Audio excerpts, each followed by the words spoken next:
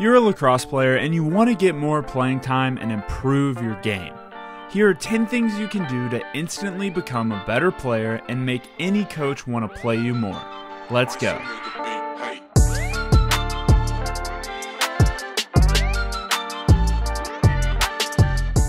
So, nothing is free in lacrosse, except for fakes. Fakes are free and you should use them. Fakes are an easy way to score more goals and deceive your defenders. The two best fakes are the passing fake and the shooting fake.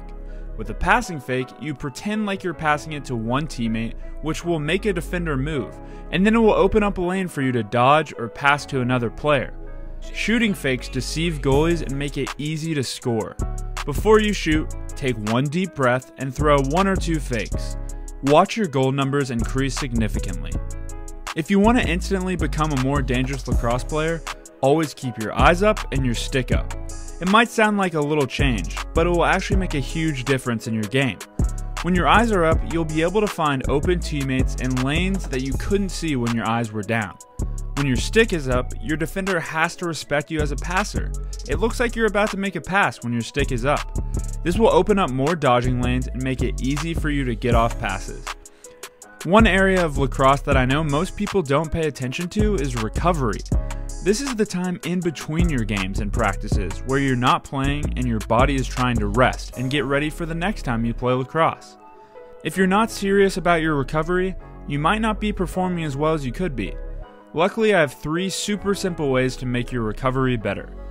First off, you need to be drinking at least a gallon of water each day, no questions asked. If you're not hydrated, your body will break down.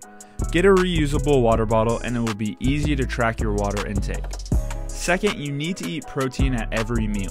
Protein helps rebuild muscle, and most people don't get enough of it. You can get protein from lean meats like chicken, steak, turkey, or salmon. You can also use protein powder if you don't like meat. Third, you need to be sleeping for 8 hours a day. Not 6 hours, not 7 hours, but 8 hours a day. Sleeping is the most important part of your recovery, and you need to make sure you get enough of it. I talk a ton about the best lacrosse fitness and recovery tips in my free email newsletter. If you're not one of the 300 people subscribed already, I'll leave a link down in the comments and description where you can go sign up now. In lacrosse, there's not many shortcuts to getting better, but one shortcut I have found is the jump rope. If there's one exercise you should be doing right now, without a doubt, it's the jump rope. Jump rope is pretty much magical for your footwork, conditioning, and muscle endurance. It works out every part of your body, and it's super easy to do. I'll never forget it. My coach told me, Jake, jump rope for five minutes in the morning and five minutes in the evening. I took his advice to heart and did it for a month. I was a completely different player after that month. Follow my advice, and it will happen to you too. One thing that we don't do enough of in lacrosse is communicate with each other. There's plenty of lacrosse games that I go to where it's dead silent. That needs to change. It doesn't matter if you're an attackman, defender, or bench warmer. Communication is key in lacrosse. Call out for the ball or tell your teammates if someone's behind them. Whatever it is, just talk. Getting in the habit of talking will make you more fun to play with, and coaches will be impressed with your ability to command the team. I always used to get nervous before lacrosse games, and my way of getting over that nervousness was by talking. The second I got onto the field, I'd talk to my teammates, and the nerves would go right away. There's much more lacrosse on TV and YouTube than ever before, which means tons of opportunity for you to watch more film. One of the best ways to become great at lacrosse is by watching great players, college and pro. Watch a game and focus on one or two players. See what they do with the ball and without the ball. You can take notes and go practice some of their moves. I really like to break down individual plays piece by piece in my lacrosse film breakdowns, and you can check out dozens of these breakdowns on my YouTube channel. I always did plenty of sprints during lacrosse practice, but one thing we always neglected was long runs. Long runs build up stamina, which will help you last the whole game. Pick a day each week where you know you won't have a lacrosse game. Then commit for running for at least 35 minutes without stopping. Throw on a podcast or some music and you're good to go. Add 5 extra minutes each week until you can run for an hour or two without stopping.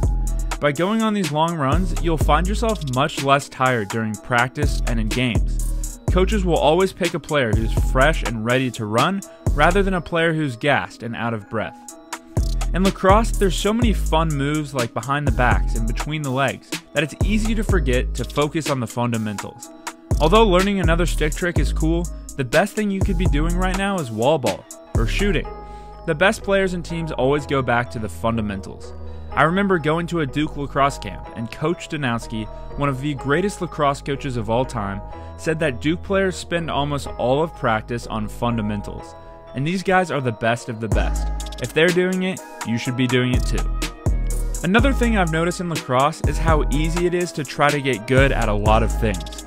You want to be the best outside shooter and also really good at dodging and also really good at passing. Yeah, that's great, but start by being amazing at one thing. Then you can expand. If you're the best dodger on your team, but you aren't great at shooting, coaches can put other players who are better at shooting around you. But if you're just an average dodger and an average shooter, where do you really fit in on the team? I think the first skill to master is outside shooting. There's not a lot of players who can do it really, really well.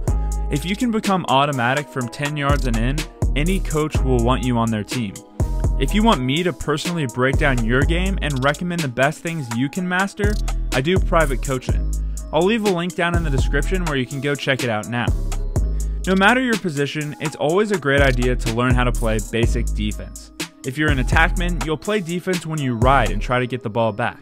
If you're a midfielder or defender, you're playing plenty of defense already. Even goalies play defense sometimes. Learn basic footwork and how to force your man to one side of the field. If you just learn these basics, you'll be a much better player.